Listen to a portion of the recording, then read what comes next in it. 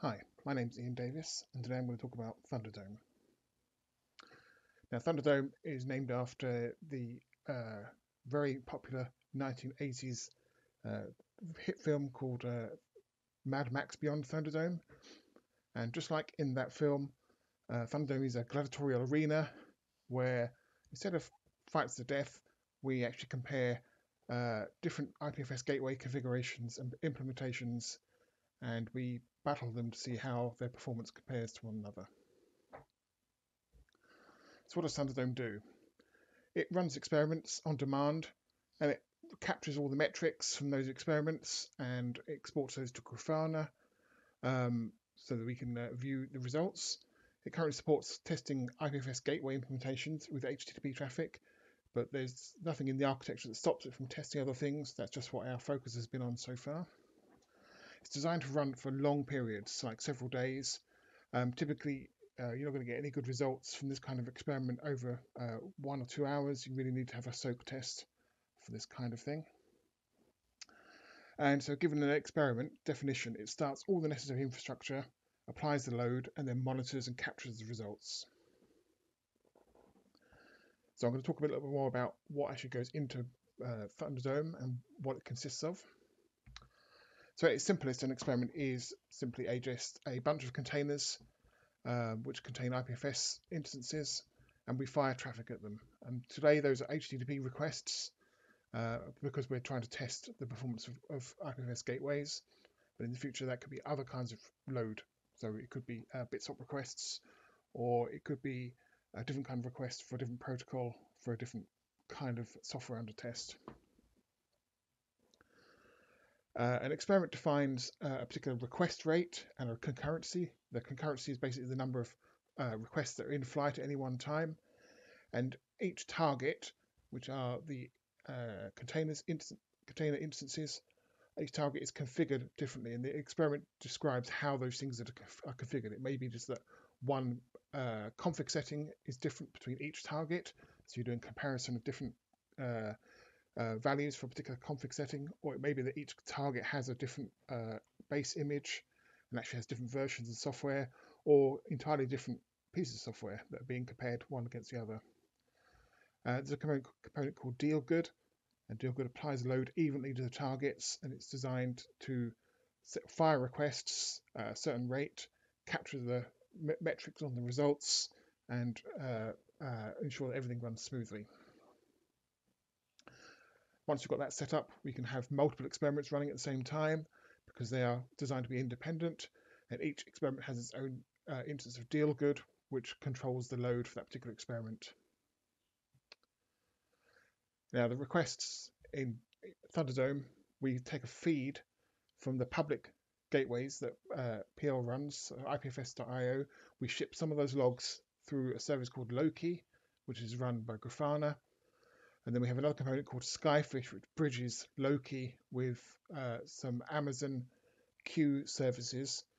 Uh, and, those, and then Dealgood listens to those queues. So if, every time a an experiment starts up, it subscribes to this queue of, of incoming requests uh, and then forwards those on to the targets under test. And the reason we do it that way is uh, Skyfish can control the the the uh, the low, the level of, of requests that are incoming, it can smooth that out because the incoming requests from the public gateways can be a little bit kind of um, uh, bumpy, depending on uh, where we're getting those requests from or how what, what the distribution of requests is. Uh, and we want to make sure that is uh, as uh, controllable as possible and that we, that we that Dealgood receives requests at a standard rate. Now, uh, all the components in the system are uh, instrumented with metrics, and we use uh, Grafana Agent to pull any metrics out of the containers and out of the uh, uh, ECS uh, machines that run the containers, but also out of Dealgood and out of Skyfish and the queues. Basically, all of this stuff gets pumped into into Grafana, and then we can build interesting visualizations of the results from that. So we collect uh, metrics via Prometheus. So any the containers that we run as targets, all they have to do is expose a Prometheus export uh, endpoint, and the Grafana agent will, will scrape those metrics and send them up to the Grafana cloud. Uh, and Dealgood and Skyfish implement the same kind of things, and they they uh, uh, export metrics around. For Dealgood, it's the, the request and response timings, and for Skyfish, it's the behavior of the incoming requests uh, and the stability of that of that request feed. So we can build visualizations like this. This is the uh, default timeline view of an experiment. And across here, we can see things like at the top left, the two numbers show what our expected request rate was and what the actual request rate, rate was. And then we can categorize things like the number of good responses, uh, or a number of dropped requests, or the time to first byte, which is what we're particularly interested in in, uh, in the gateway implementations. This particular graph shows uh, a, a, uh, a poorly behaving uh, experiment, which I'll come to in a little bit. And this is what we call the summary view. So what, what we need to do when we're running Thunderdome experiments is to really take a long-term view. So there's no point looking at 30 minutes of metrics. We really want to look at six hours or 12 hours or even 24 hour uh, uh, averages. Um, and in this case, we're seeing here six, six hour averages of various metrics, including time to first byte, and you can see some of those uh, st standing out as particularly slow. And uh, again, I'll come on to the reason for that in a, in a short while. And we have another another dashboard which is basically using the metrics from Skyfish to show us the incoming requests that are coming from our public gateways and how we've kind of uh, forwarded those on to each experiment in turn to just make sure the experiments are getting a fair number of requests that they've asked for. If they don't, and obviously that's going to affect the uh, outcome of the experimental results. There are some challenges to this kind of inf infrastructure although, although, it's simple on the uh, uh, on the surface, all we're doing is spinning up some containers and sending traffic to them. IPFS uh, and P2P, by, by its very nature, uh, wants to connect to lots of different things, wants to discover connections all the time. Um, so nodes like to chat to their neighbors, but what, what we're trying to do as an experiment is trying to isolate these things because we want to have a fair test. So we've got three or four copies of the same software with different configuration settings. We don't really want those cross-talking because we don't want them to, to our block to be a peer in one node and then to be instantly retrievable from another node just because it happens to be paired with it. So we do some things like we isolate the targets from one another using network ACLs.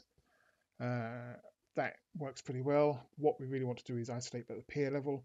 So we're tracking some IPFS work where there are proposals for having rules around what peers can be connected to. Uh, so we can block particular peers. And we're going to, what we would do there is we'd block all the peers in every experiment that we run and probably block access to our own gateways as well, um, uh, just to be sure that we're not getting any kind of cross contamination that might affect the, uh, the uh, performance. So I'm going to talk about a little bit about some of the experiments we've run using Thunderdome.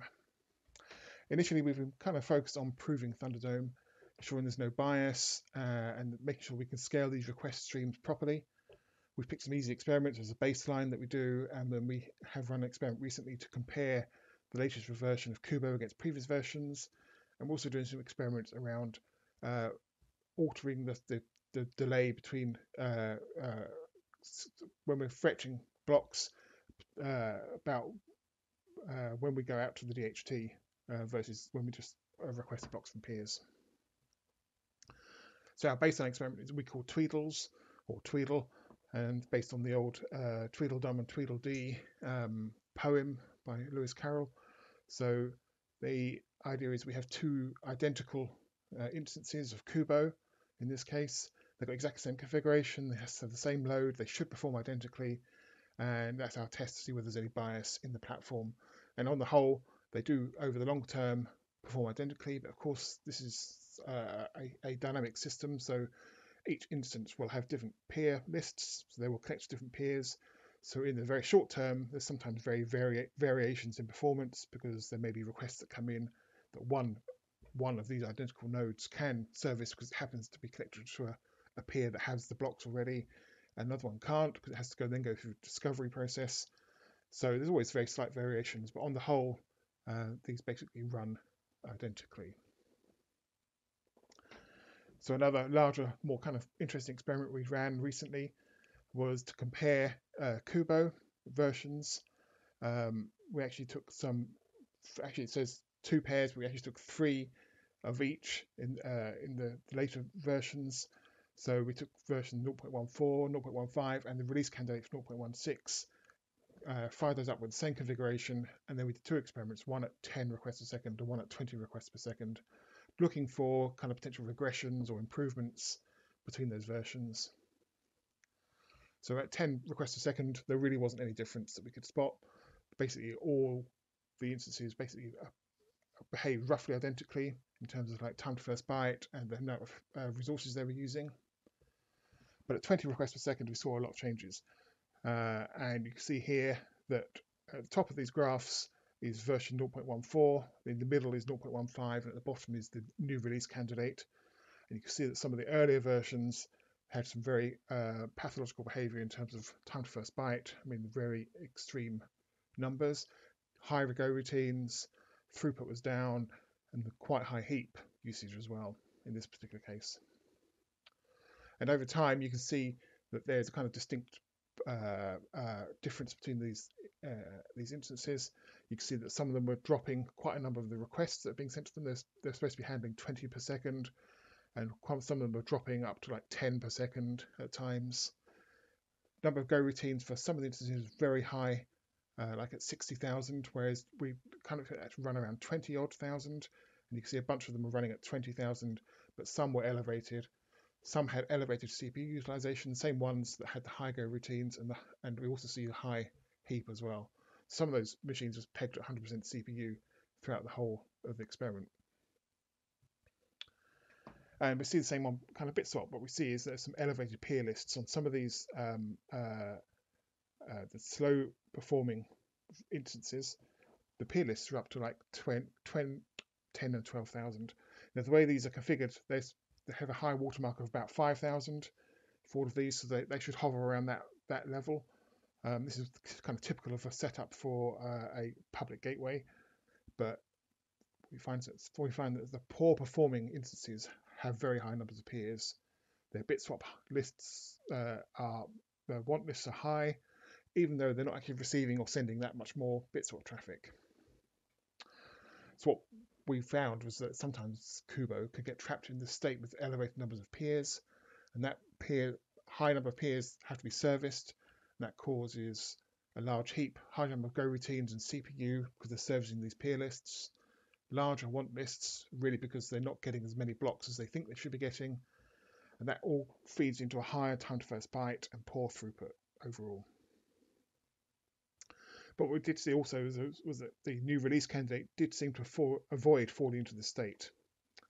Uh, and you can see from on the right hand side that actually the BitSwap want list sizes were reasonable, like 50 most of the time for these three instances, and the number of peers was was exactly what we expected for this kind of experiment. So as a follow-up, uh, you can actually read the summaries if you've got access to a, uh, to Notion, which is, is a public page. Uh, we followed up with a comparison of various commits between the two versions, and we did narrow it down to a point in which Kubo does appear to be more stable at, at high volumes of, of usage. Uh, and we think that's around to some logic, uh, some changes in the in the routing logic. Uh, we've run some various other experiments recently. So, like for example, we have run an experiment where we've blocked access to these particular nodes from the uh, public gateways. And the reason for that is because we're taking a feed of traffic from public gateways. You know, I wanted to test the theory that the, that the if if we're paired with those gateways, then we may just retrieve blocks that have already been just retrieved by a gateway just 30 sec 30 minutes previously. Um, and uh, so this experiment was to test that whether there was any really any bias by by being paired with any particular gateways, because obviously the instances can can discover the gateways that have these blocks uh, and it turns out there isn't really any uh, any evidence for for that. Uh, in fact, the the Kubo nodes actually performed slightly better when they were not paired with the gateways, which is probably down to the fact that gateways are very highly uh, uh, high utilization, um, and in fact they're a little bit slower at servicing requests because of that. we have a bunch of experiments looking at this bit swap provider delay settings, comparing whether we want to change the, the, the number of peers or whether we use the accelerated DHT client, size of the data store, or, uh, and also some very long uh, settings for these. Um, and we're currently running an experiment to look at what the, an optimal size high water mark for the peer set is for a gateway, typical kind of gateway node. It seems that, as we saw before, very high number of peers can also cause problems with performance because there's a lot of servicing that has to go on uh, in, in looking after those peers and, and making and maintaining that that, that um, those connections. So in fact, it may be uh, better to have a smaller peer set, even though that's kind of counterintuitive to a very large, largely trafficked uh, gateway, which which is designed to fetch blocks as soon as possible from a very wide number of diverse requests. So in the future for Thunderdome, we have a, uh, a kind of short-term roadmap. Uh, what we're going to be doing is automatically testing every Kubo release candidate against a previous release. Um, we're, we're, just going to set, set up to be automated, so we'll always have that data, and that will inform the release process, and we can hopefully identify performance regressions, uh, or even better, if we can find better performance uh, improvements or stability improvements, then that would be great as well. And then we have uh, some work to do around making it even easier to run experiments. So currently, uh, the only people that can build and run experiments are the people who own the infrastructure, which is currently the, the, the, uh, the Thunderdome team. What we want to be able to do is allow collaborators to define the experiment and then run it on the infrastructure uh, independently and then gather the results themselves. And then, of course, we want to be able to test other gateway implementations, not just Kubo. We want to test with uh, uh Iroh and uh, JS, IPFS, and anything else really. And there's some kind of cross matching we're going to, to do around metrics to make sure we're measuring the same things from each of these types of software. Uh, so that will take some time next year to do. And then longer term, and we, longer term, we want to measure other kinds of software, not just IPFS gateways. Um, really, anything that, that can accept traffic and respond to it in some way, uh, produces metrics that we can do that. I think in this in this kind of model. Um, so it could be with sending bit swap requests, or it could be a completely different kind of software. It could be um, something where we just need to apply, define what the load is and how to measure that application of that load. Um, also we want to be able to decouple from AWS. So currently we have we rely on a couple of AWS components. Obviously we use ECS for our container system. We're using the queue services, and we want to be able to uh, allow this infrastructure be deployed anywhere, so that anyone can quickly run up uh, a test of their own software or our software or whatever they want to do. And of course, we want to do more experiments, more data, and understand IPFS infrastructure in a in a, a better way. So if you've got an experiment, you can come find me. I'm Ian Davis. Or find me on uh, Filecoin Slack in the ProdEng uh, channel or an IPFS Discord in the ProbeLab uh, channel, or you can raise an issue on our GitHub repo, which is github.com slash IPFS shipyard slash Thunderdome. And soon you better run your own experiments. Um, but right now, uh, you have to ask me, and I will uh, configure things for you uh, on your behalf. And of course, it's all open source, so you can take what we've done, build on it, learn from it, run it yourself, if you uh, all, all those kind of things. So that was Thunderdome. Uh, thanks very much.